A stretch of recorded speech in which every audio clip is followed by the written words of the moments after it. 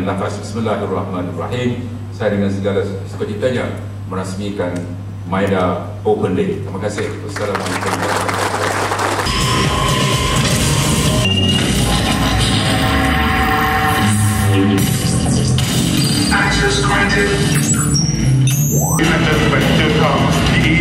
Automated Guided Vehicle, to pass the to our minister.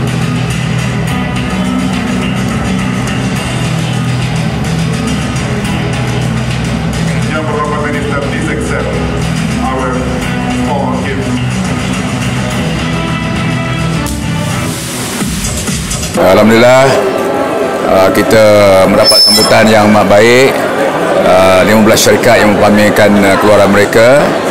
Dan uh, banyak keluaran ini uh, merupakan high tech ya. Termasuklah syarikat Malaysia yang membuat software bagi inspection yang uh, segala-galanya automatic ya. Syarikat Malaysia yang buat crane ya. Sebuah syarikat oil and gas yang mana pendapatannya 80% luar, negara. Uh, inilah ya, perkara yang telah kita lakukan untuk mentra- mentransformasikan ekonomi Malaysia. Uh, dan kita berbangga kerana ini semua telah menjana peluang pekerjaan ya. Umpamanya sebuah syarikat di sini hari ini uh, dia 8000 pekerja. Uh, 3000 merupakan uh, yang bekerja dalam R&D R&D makna mereka graduate. Uh, 1000 dalam shared services. 50% pekerja mereka adalah merupakan yang terlibat dalam uh, dalam uh, kerja-kerja yang membayar uh, gaji yang tinggi ya. Inilah yang kita mahukan dan kita mahu Maida uh, untuk terus uh, cemerlang dalam kerjanya. Uh, jadi kita berbangga kerana hari ini mendapat sambutan yang baik termasuk daripada anak muda yang uh, sedang mencari peluang pekerjaan.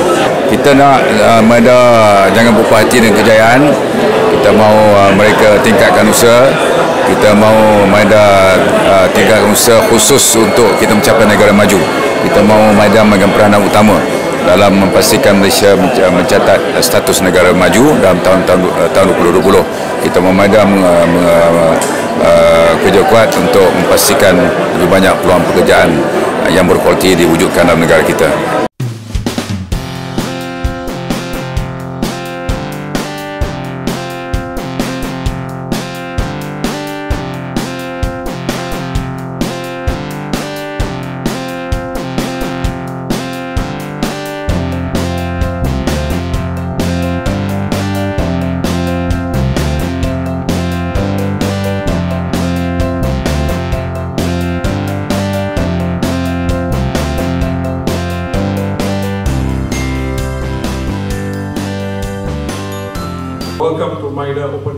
2017.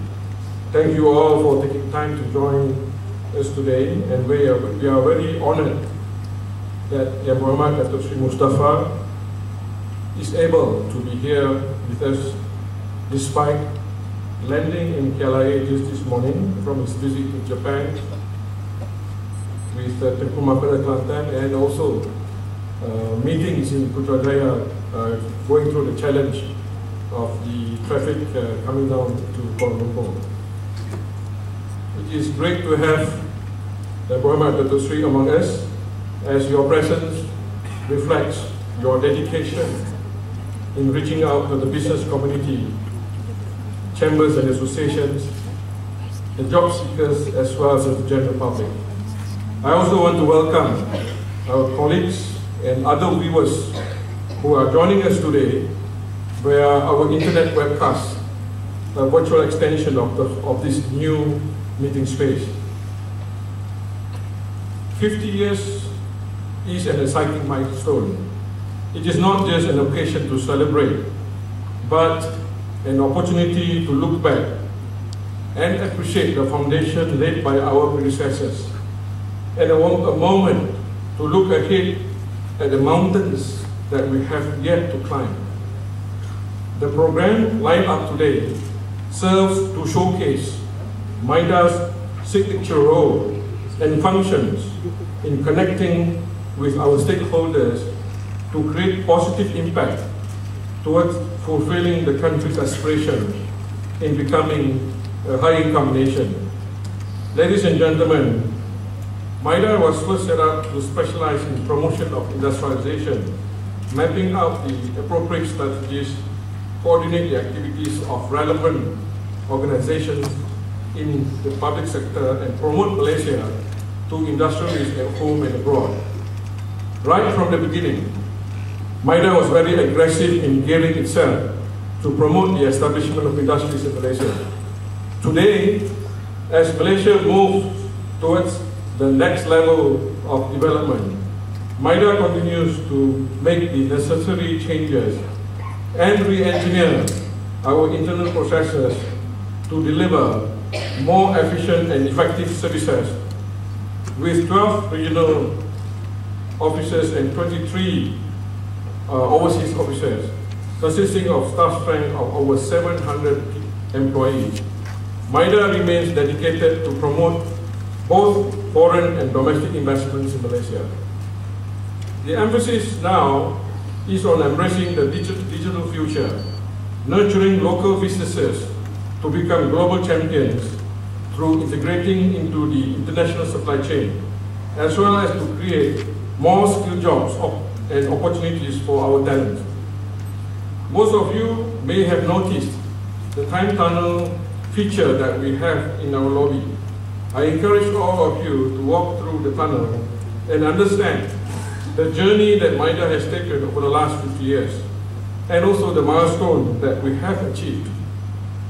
The main feature of our Open Day program is the career fair.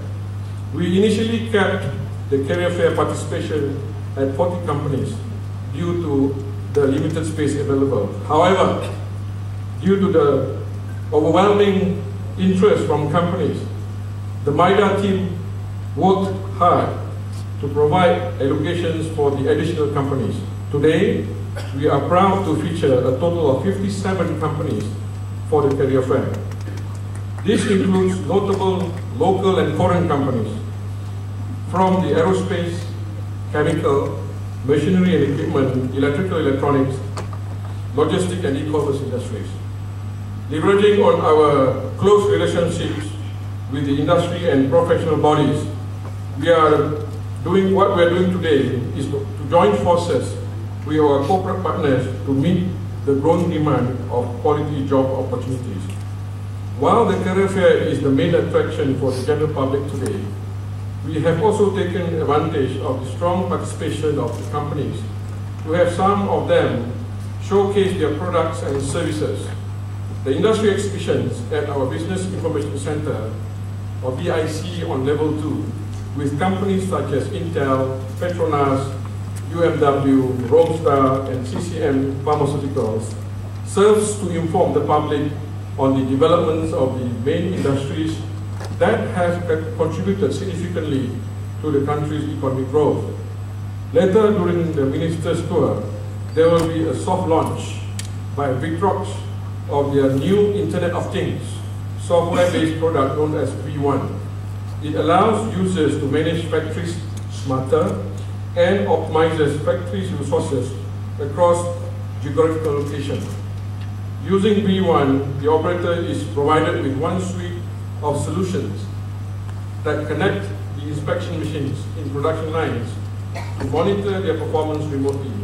There will be an interesting real-time demonstration of their product using the video wall at our BIC. I welcome our media friends who joined us for this demonstration at level 2 after this. Ladies and gentlemen, MIDA places strong emphasis on being customer-centric as well as doing things that add value. In the planning of our open day, we wanted to ensure that we optimize all our resources to provide the most benefit for all our stakeholders, including the business community and potential investors. Hence, we have running throughout the day at the meeting rooms on, the on level 18 with dedicated desk officers ready to provide a response to every inquiry or issues companies may have. The participating agencies include Telekom Malaysia, TNB, Department of Labour, Royal Malaysian Customs, and a few others.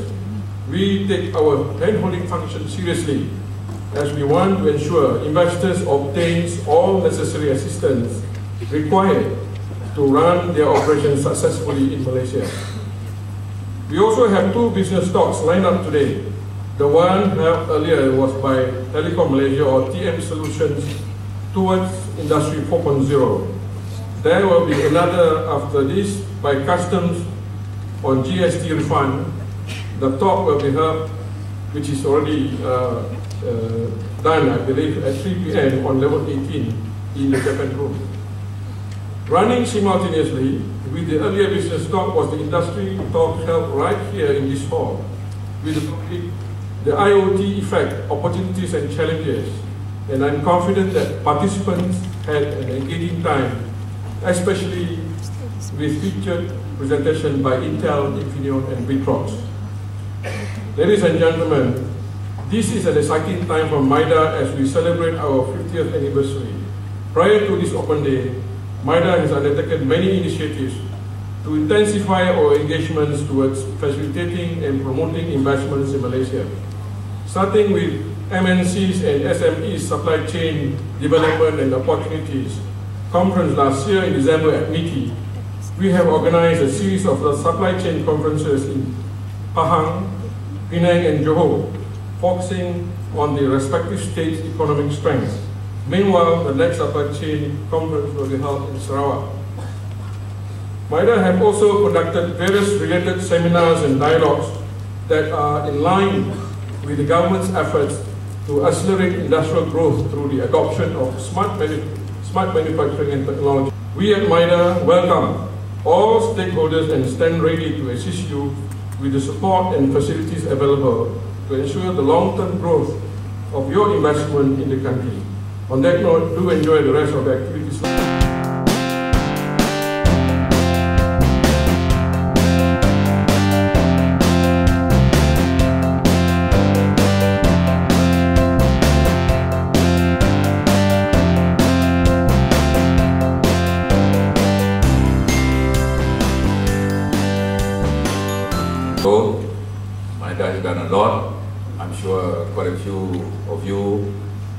Room, perhaps out there, who do not know what MIDA stands for, what MIDA does, who does not know what, you know, how Dato Azman looks like, eh?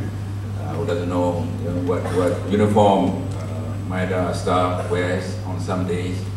Today they are in black and with a brown tudong. Yeah? So MIDA has got a certain identity and we would like to share with uh, Malaysians yeah? Tell Malaysians what we've been doing, MIDA's contribution. Uh, 50 years is a long time uh, in the journey of any organization and uh, it is very important to do this outreach, to share the joy and the success of MIDA over these years so that we can all be proud of what MIDA has done to all of us. The MIDA family has got 780 uh, people running the organization, as mentioned by Azman, 23 officers abroad and 12 in this country. Uh, abroad, because we need foreign investments. Uh, in Malaysia, of course, uh, two functions. One is to promote domestic investment. Another is to continue the process of handholding, to make sure that the handholding process is effectively done.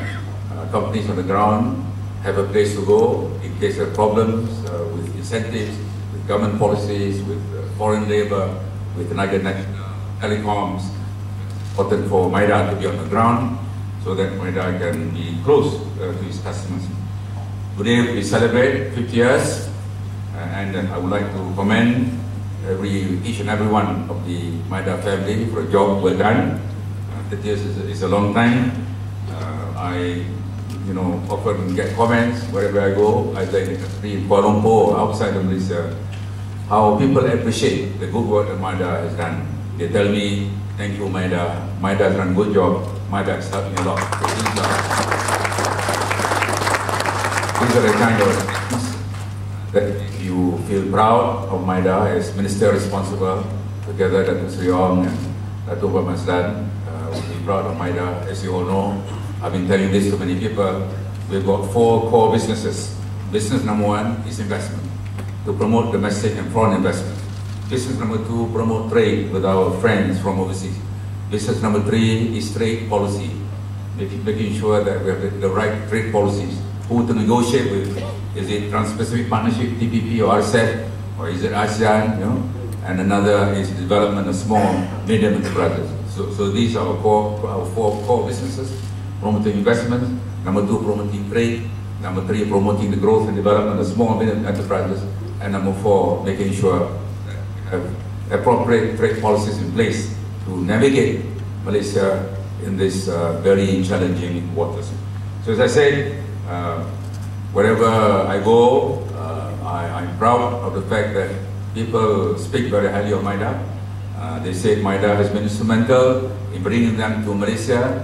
They told me MIDA has, has been instrumental in resolving some of the problems with income tax or treasury or customs or, or national telecom, telecoms. These are our partners, state governments. MIDA has been helpful in guiding them where to locate the operation. Yeah? And I just came back from Washington and Tokyo. I was in Tokyo for a couple of days, Washington four days. And I got here, the same stories where, wherever I go. In Washington, I met with about 10 companies. In Tokyo, were 15 companies. Um, and also, I met, I also met business associations, business organizations, U.S. Chamber of Commerce, U.S. Business Council. I met some of the leading multinational companies operating in Malaysia, DC, Washington, DC. Uh, I have two days, uh, Saturday and Sunday in, in Tokyo, and I kept hearing some very good words about MIDA, and I'm sure many of you, if not all of you here, have similar uh, feedback about MIDA. So once again, let us, uh, let us give a big hand to MIDA and everyone. Everyone in MIDA has been instrumental in uh, making this journey, 50-year journey, uh, very successful. Ladies and gentlemen, let me say a few words about visibility and world class. It is important for any organization to be visible. Malaysia as a country want to be visible. We want to do well. We want to be a developed country by the year 2020. We have to be agile, we've got, we've got to be flexible. We need to be able to adapt to changing circumstances very quickly. We have to be ahead of the curve. We cannot be lagging behind. So this is very important, important to have a certain level of visibility, not, not any visibility, a high level of visibility. People know you. People know Malaysia as a great country, a country which has transformed itself from a poor agricultural country to uh, one of the uh, most successful developing countries in the world. Yeah? People know Malaysia as a beautiful tourist destination. People know Malaysia as a country which has enjoyed peace and harmony for many, many years. People know Malaysia as a place where we have racial unity and religious tolerance. So these are important. These are important trademarks of Malaysia. But what is important is to make sure that all these trademarks are highlighted. We want to ensure that we enjoy the highest visibility possible in the world. We're, we're talking about world class, want to be developed nation, want to provide uh, Malay, young Malaysians with jobs, yeah? not any kind of job, but jobs which will enable them to earn a good living and sustain a family. Yeah? Uh, we know, for example, that there are, there are many young Malaysians they might be in the B40, uh, people with family of four earning about 4,000 ringgit and below. These are B40. They have a job, but they can't afford to have a decent home. Uh, they can't afford uh, to have a decent holiday. Uh, and these are the kind of things that as a, as a country you want to change, want to move up the value chain. These are the characteristics of a high-income economy. A high-income economy is an economy where citizens earn sufficient money for recreation, sufficient money to buy a decent home, sufficient money to sustain a good education, sound education for the children. And we are not there yet. That's why we, we are struggling still. We're working very hard to get 2020, this 2017. We got three years, three more years to go and that therefore MIDA plays a very important role in transforming, not only transforming the landscape of Malaysia from an agricultural economy to an, an economy based on industry, but we want MIDA to be successful in transforming the lives of Malaysians. Yeah? Malaysians those days do not have a job. There's a lot of unemployment, underemployment in rural areas, a lot of surplus labor in agriculture. That surplus labor has been brought to the uh, semi-urban and urban areas. They have uh, gained employment uh, in, the, in the rural areas, agriculture, hardly uh, have a job, they're underemployed. We've been successful in doing that. We've been successful in providing jobs to Malaysians.